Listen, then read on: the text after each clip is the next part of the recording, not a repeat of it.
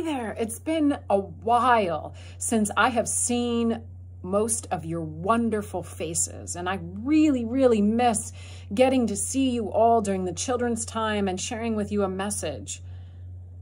Since I can't do them right now, I thought it would be best to maybe post some of those videos for you online so that you can watch them at your leisure when you have time at home. I hope you enjoy these videos that will be released weekly just for you.